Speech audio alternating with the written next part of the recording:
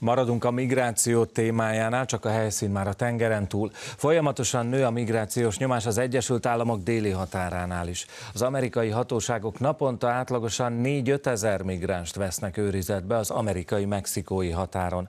Az új kormányzat igyekszik visszájára fordítani a Donald Trump nevéhez kötődő szigorú bevándorlási intézkedéseket, miközben egyre több kritika fogalmazódik meg Joe Bidennel szemben. Az Egyesült Államokba kapcsolunk Lukócki Gábor Gáborhoz. Gábor, mi változott meg az új elnök hivatalba lépését követően, és mi tapasztalható most az amerikai-mexikói határon?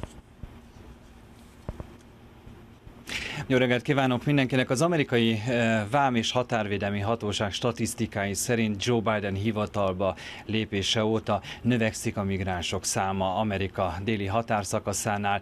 December és január között 6%-kal emelkedett a számuk, amelyet már akkor egy újabb migrációs hullám első jeleként értékeltek az amerikai bevándorlási szakértők, megjegyezve, hogy ez próbára teheti a Biden adminisztrációt a jövőben. Januárban majd 78 ezer migráns tartóztattak le és vettek őrizetbe a mexikói határ mentén, a múlt hónapban pedig még ennél is többet, számok meghaladhatja a százezret. Legalább öt éve nem volt hasonlóra példa. A déli határon eddig forgatókönyv szerint tavasszal ugrott meg a dokumentumok nélkül érkező bevándorlók száma.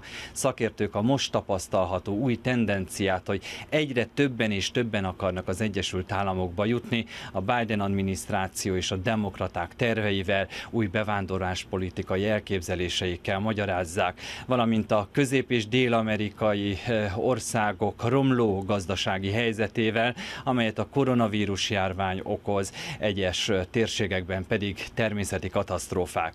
Tavaly ilyenkor márciusban csökkent a migránsok száma, az Egyesült Államok akkor hozta meg a határait is érintő korlátozásait a járvány miatt. A közegészségügyi törvény azóta is életben helyzetben van, de az új kormányzat mentesíti a határon átkelő kísérő vagy gyám nélkül érkező gyermekeket a rendelet alól, akik százával érkeznek naponta. Beléphetnek a családok is, akiknek menedékkérelmük elbírálása jelenleg folyamatban van az Egyesült Államokban, még vannak, akik egyedi elbírálás alapján léphetik át az országhatárt. Jelenleg naponta 4-5 ezer bevándorló akar új életet kezdeni az Egyesült Államokban. Az elmúlt időszakban a Rio Grande völgye volt a legforgalmasabb határmenti régió ebből a szempontból, és Texas állam szembesül a migránsok újabb és újabb hullámával. A hatóságok pedig azzal szembesülnek, hogy nincs elegendő hely az őrizetbe vett migránsok elhelyezésére, van, ahol az ideglenesen felállított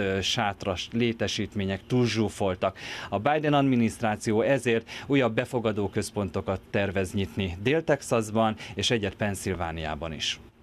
Gábor, kevés időnk maradt, ezért kérlek, hogy röviden válaszolj. Az Egyesült Államok déli határánál szűrik a migránsokat? Egyes jelentések szerint egyre több a pozitív koronavírussal fertőzött azok között a migránsok között, akik a déli határon lépnek be az országba. Van, akiken már elvégzik a gyors tesztet a mexikói oldalon, de vannak, akiket az Egyesült Államokban szűrnek. Az egyik eh, texasi határmenti városban például a főbusz pályaudvaron szűrik azokat, akik engedélyen lépik át a határt, és, oda, eh, és eh, szabadon várakozhatnak, és mozoghatnak az országban van, miközben menedékkérelmi ügyükben folyik a hivatalos procedúra. Sok mindent egyébként nem tudnak velük kezdeni a hivatalos szervek, rendszerint azt tanácsolják nekik, mint valamennyi beutazónak, hogy kövessék a járványügyi irányelveket, tartsák be a biztonsági óvintézkedéseket, és ha pozitívak, akkor vonuljanak karanténba.